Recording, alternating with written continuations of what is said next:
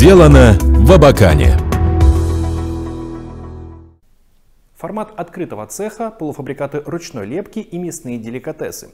Сегодня предприниматели местного пищевого сектора, можно сказать, меняют параметры реализации своей продукции и открыты к предложениям от потребителей. Аргументы к изменению – конкурентная среда.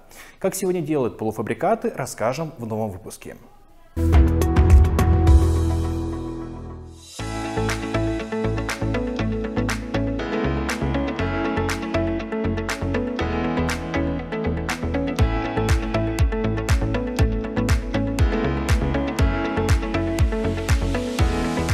Начнем, скажем так, с организации вашего предприятия. Э, несколько человек находится, скажем так, в управлении, и, в принципе, несколько человек его организовали. Вот э, с чего начиналось ваше производство, вашего дела полуфабрикатов? А, ну, изначально мы занимались э, мясом, перевозкой, перепродажей, оптовыми продажами мяса. А скупали у фермеров, также продавали свое мясо. У нас была точка на сельхозрынке. А со временем вели точнее запретили подворный убой э, скота, соответственно, это повлияло на себестоимость, на логистику, э, поэтому э, мы решили перейти на полуфабрикаты, потому что один килограмм мяса ты продашь с разницей там 50 рублей, грубо говоря, а если ты переработаешь, заработаешь там 300 рублей. Вот в чем разница. Вы, в принципе, начинали, да, торговать вот именно мясом, у вас была точка на сельхозрынке. Вот даже смотря на тот спрос, который у вас был, вот, э, насколько востребована местная продукция, на ваш взгляд, вот среди потребителей наших? А, если судить по трафику на сельхозрынке и э, людям, которые приходят именно за свежим мясом, э, именно местных производителей, то есть у кого-то все равно есть какие-то любимчики, так скажем, э, даже по продавцам, которые а, покупают или заказывают э, мясо у определенных фермеров, а потом перепродают. А, и также клиенты, которые ходят там к определенным продавцам и покупают одно и то же мясо то есть э, уже из года в год. Вы находитесь вот именно в таком воплощении около двух месяцев, наверное, чуть больше на рынке? Да, чуть больше двух месяцев, там, ну, весь третий месяц а, идет, ну, примерно так. Ну вот э, заходя в такой рынок, потому что полуфабрикатов много, и как местных производителей, так в принципе и федеральных, вы как-то вот изучали этот сектор, э, как принимали решение вот именно такой продукции производства? Изначально а, стратегия была построена таким образом, что а, с плохим качеством продукции мы навряд ли бы зашли на рынок, потому что этого всего хватает федеральные сети и так далее. То есть э, акцент изначально сразу был э, сделан на натуральном продукте, э, на производстве хорошего продукта, который, ну, каждый день, кто, если лепил дома пельмени, то есть акцент на домашних пельменях. А также мы используем натуральные ингредиенты, ну, в том числе и мясо где-то мы покупаем у фермеров частично, где-то э, свое. А, таким образом, вот даже сейчас, смотря на то, что, несмотря на то, что вы два месяца, там, ну, три, предположим, на рынке, есть ли какой-то отклик, э, какой-то, скажем так, вот э, обратная реакция вообще, в принципе, по, по вашей продукции на сегодняшний день? А, да, отклик, безусловно, есть. Это пока, показывает то, что объемы у нас растут, соответственно, спрос на нашу продукцию растет, э, заказы с магазинов, то есть у нас есть а, полная сертификация на нашу продукцию, мы возим э, в магазины и а, географию сбыта потихонечку расширяем. То есть э, пока Абакан, Аскизский район, а, планируем там выйти Орджоникидзевский район, Ширинский и так далее. Если вернуться к организации вообще вот такого дела, какие первые шаги, чтобы вот вообще такую точку организовать, такую продажу, вот э, как вы начинали в этом плане свое дело? Первые шаги, ну, я бы сказал, нужно сначала изучить рынок в том плане, то, что а, начать что-то делать, хотя бы дома начать лепить, э, делать это качественно, наработать какую-то небольшую базу клиентов, может быть, родственники, друзья, там, а, знакомые.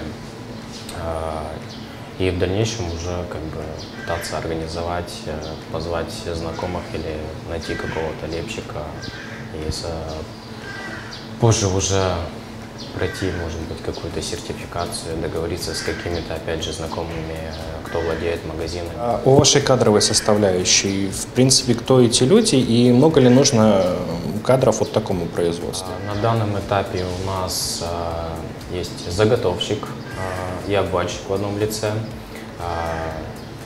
В штате прям на постоянной основе два лепщика. Если мы не справляемся с объемами мы вызываем там, еще несколько, ну, на подработку лепщиков берем, а, плюс фасовщик.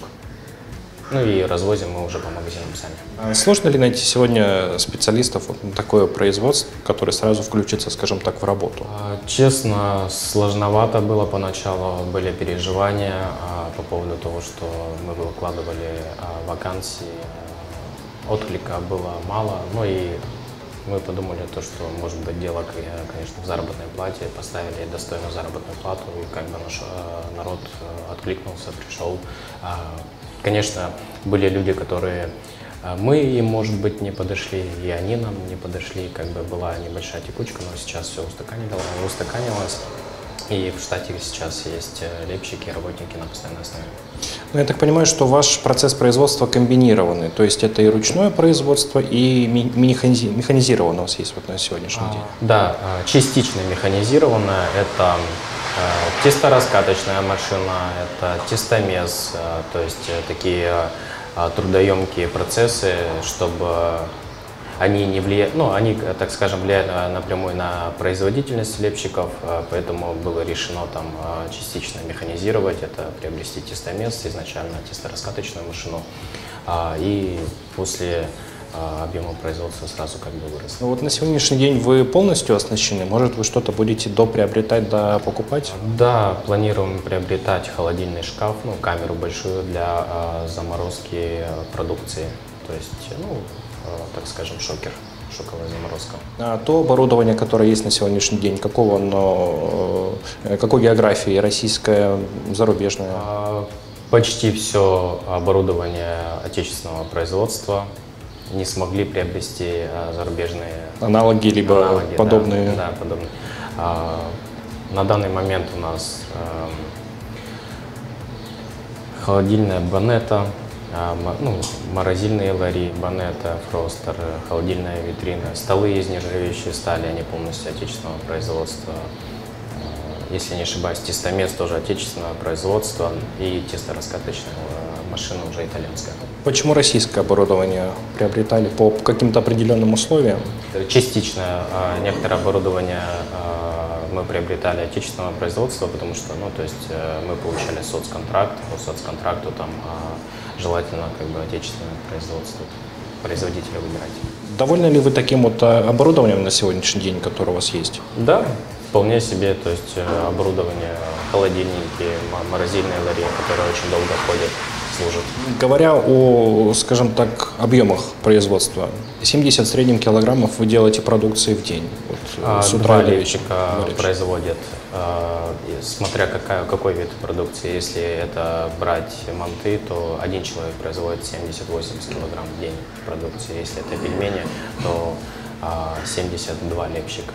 А если мы берем на подработку, то это 100 килограмм в день.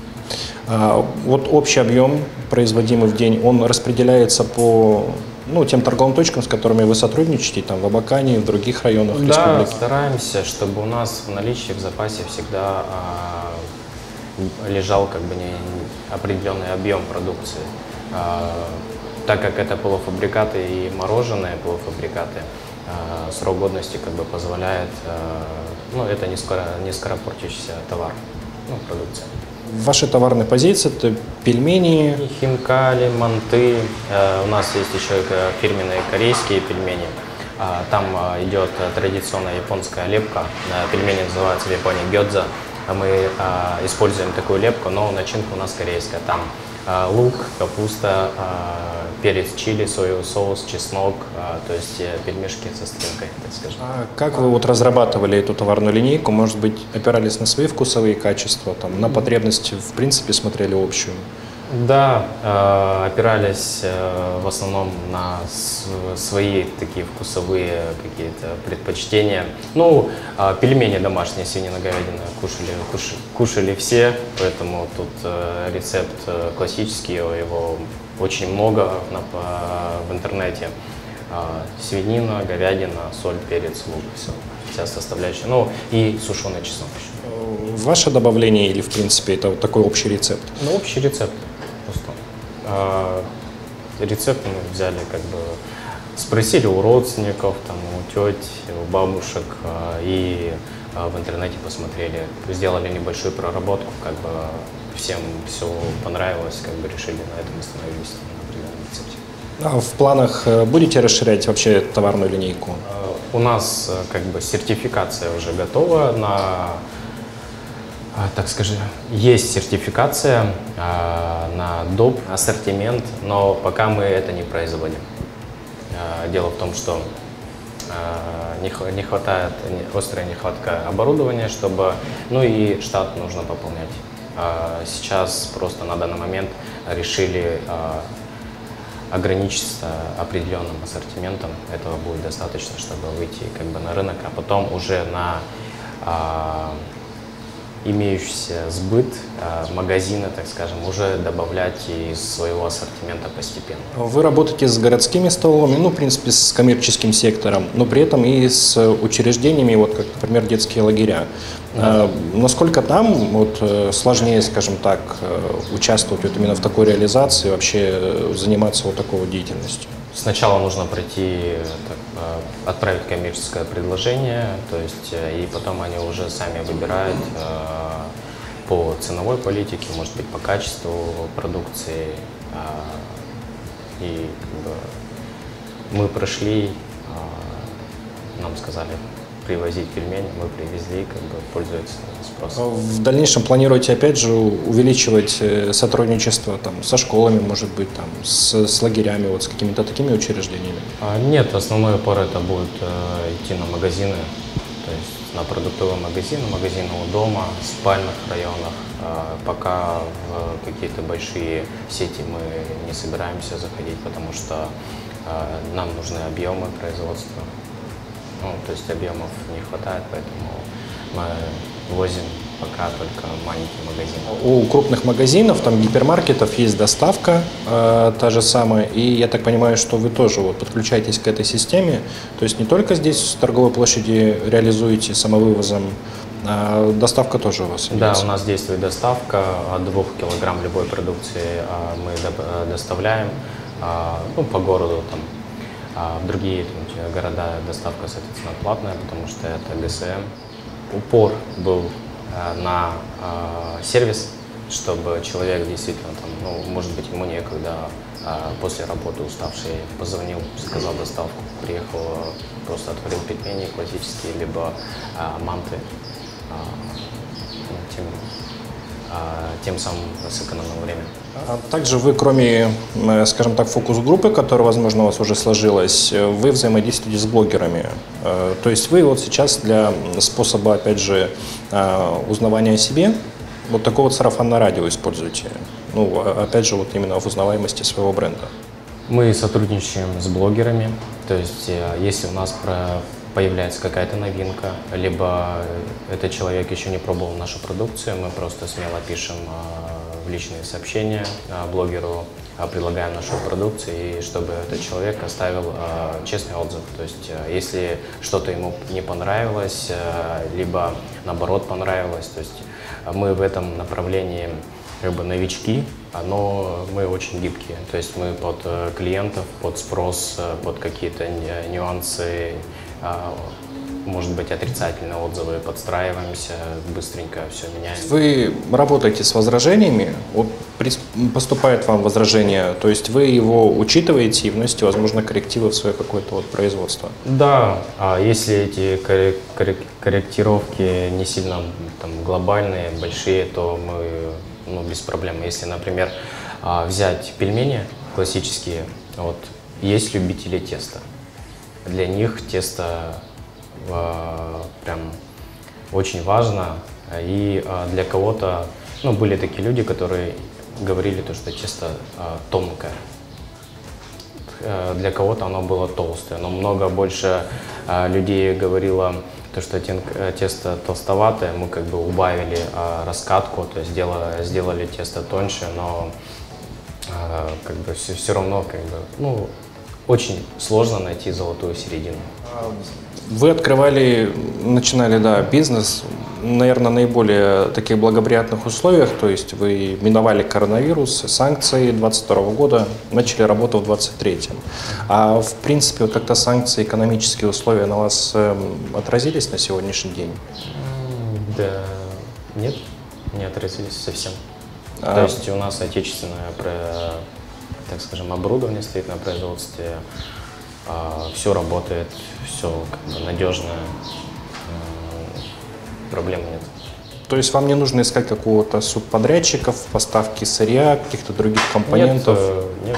мы используем вот, э, производство, например, э, закупаем сырье у местных фермеров, добавляем свое мясо, то есть фермеры, фермеров в Хакасии сейчас очень много, и тем более то, что мы занимались мясом знакомых фермеров, которые доверяют, то есть мы закупаем по достаточно хорошей цене для них. Вот, и а, никак не сказывается. Кроме полуфабрикатов, э, также указано, что у вас есть э, так называемые мясные деликатесы. Это тоже одно из э, ваших направлений на сегодняшний да, день? Да, одно из направлений а, это деликатесы, копченые копчености. А, мы используем, например, домашнее копчение, коптим мы на ольхе. А, все натуральное, то есть есть мясо, соль нитритная, там поваренная, пос, э, прошел засол, на щепу закинули, за, закоптили. То есть, э, ну, по поводу копчения, мы коптим небольшими партиями, так как, опять же, оборудование не позволяет. Ну и а, продаем только у нас в магазине. То есть мы продукцию нашу не поставляем в магазины, но со временем а, в планах есть поставки также в магазины продуктовые. Пропорции пока больше выигрывают полуфабрикаты, чем да, копчености. Да, полуфабрикаты в основном, основной пар полуфабрикаты. Будете ли выравнивать эту пропорцию 50 на 50? Возможно, возможно, в будущем, да. Но вот смотря на спрос сегодняшнего даже по полуфабрикатам, по копченостям, в принципе и то, и то имеет свой определенный а, да, спрос. Да, вот э, спрос э, как раз-таки идет 50 на 50, если это касается вот, контактного цеха, люди приходят в магазин, человек зашел, спросил, есть ли колбаса, либо по копчености, как бы у нас частенько быстро разбирают, поэтому в наличии э, не бывает, и человек расстроенный уходит. Э, Кто-то заходит за полуфабрикатами определенными, например, корейскими пельменями, это тоже уходит, но э, кто-то покупает копченку, то есть э, они чередуются. Да, еще одна особенность вашего производства – открытый цех, такого открытого типа. Почему решили вот так вот организовать производственное пространство и торговое? А, чтобы а, у людей как бы вызывало больше доверия, то есть э, мы открыты к пожеланиям к обратной связи, так скажем. Человек пришел, э, посмотрел, э, выбрал продукцию и тут же видит, из чего это производится, а как это производится, кем это делает, ну, производится, делается. И э, чтобы у людей не возникало вопросов, может быть, за добавление каких-то, может быть, добавок. Ну вот люди, когда приходят к вам за товаром, они обращают внимание, что это открытая, скажем так, кухня, вот интересуются, почему вот таким образом поступили? А, да, спрашивают, интересуются, но а, для них как бы они пришли, выбрали, а, кому-то, у кого-то нет времени разглядывать, кто-то пришел прям целенаправленно купить, а кто заходит в первый раз, каждый, ну, удивляется. То есть э, они смотрят, разглядывают, как процессы выстроены, кто там, каким образом тесто вырубает, раскатывает, и иногда разглядывают, э, как работает э, моторика рук лепщиц и удивляется, то есть как человек может в день лепить там 70 а, килограмм мант. Ну вот говоря о планах ваших дальнейших производственных, какие они на этот год, может быть, есть стратегия какая-то на последующий а, год? До конца года мы планируем выйти на объемы это 5, от 5 тонн в месяц, чтобы минимум была, была производительность. Ну и расширять географию сбыта. может а... быть, выйти на Красноярский край, ну хотя бы на юг Красноярского края, чтобы сбывать свою продукцию. Ну, то есть, так или иначе, мы говорим о межрегиональных уже да, поставках, да. работах. И вот на ваш взгляд, что тогда понадобится? Опять же, большие мощности, другая логистика? А, для логистики понадобится, конечно, техника, то есть э, это рефрижераторы, один у нас есть, э, плюс э, холодильные шкафы, камеры для заморозки пельменей, тех же мант. А, ну и а, там, может быть, мясорубку нужно будет побольше. Ну и, соответственно, рук кто это будет все лепить, производить. Вот э, такое количество производимой продукции можно организовать здесь или вам понадобится еще расширение э, площади? От 5 до 10 тонн можно здесь производить, ну а дальше уже, скорее всего, будет расширение. Либо а, расширение этого здания, либо а, поиск доп. помещений. От общего к частному. Пожалуй, так можно характеризовать направление по производству полуфабрикатов и мясных деликатесов как для городского, так и регионального рынка. Некоторое время назад местные производители смогли выбиться в лидеры в конкуренции с федеральными брендами за внимание потребителя. К примеру, открытое производство или же открытый стиль приготовления. То есть, приходя за товаром, человек видит не только витрину, но и сам процесс готовки. Имеет такое предприятие, несмотря на то, что совсем недавно на рынке широкую географию и работает по многим районам республики. Ежедневно здесь производят 70 килограммов полуфабрикатов. Нас очень сложно, как потребителю, уже на самом деле чем-то удивить. Мы, потребители города Абакана, да, избалованы, потому что конкуренция, она достаточно высокая именно в этой сфере, да, вот производство полуфабрикатов, и мы постоянно ищем что-то новое. И вот это что-то новое, надо было, чтобы было вкусное, была какая-то своя, скажем так, фишечка. И вот первая фишечка, да, то есть меня цепляет как потребителя, это то, куда я вхожу и какой интерьер я вижу. А когда производство и продажа в одном месте, когда процесс открытый, и люди показывают, что скрывать нечего, я понимаю, что да, продукция вкусная и качественная.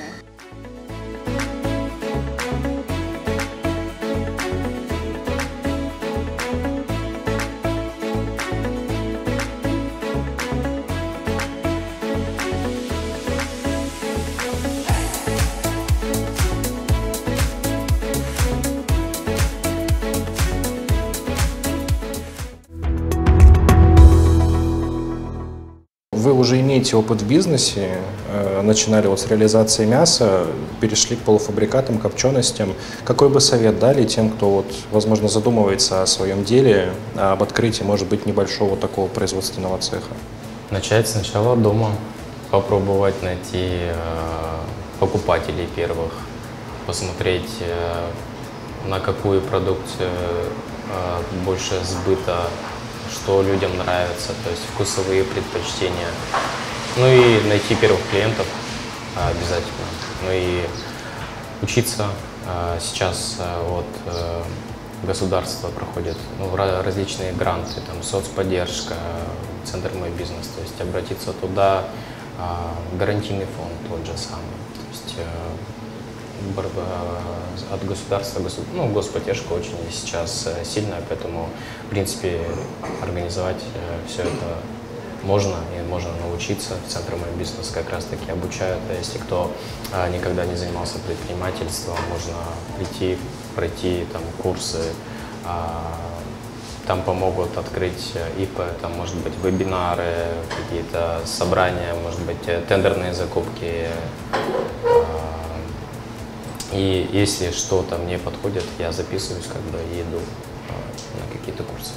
Сырье для производства исключительно свое. Мясо поставляется из собственного подсобного хозяйства.